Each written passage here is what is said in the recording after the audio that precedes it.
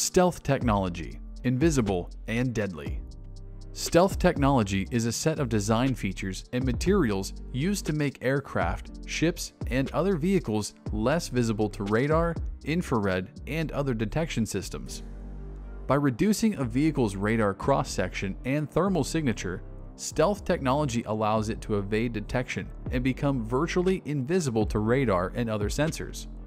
This technology has been widely used in military applications, such as the development of stealth aircraft to provide a tactical advantage in combat.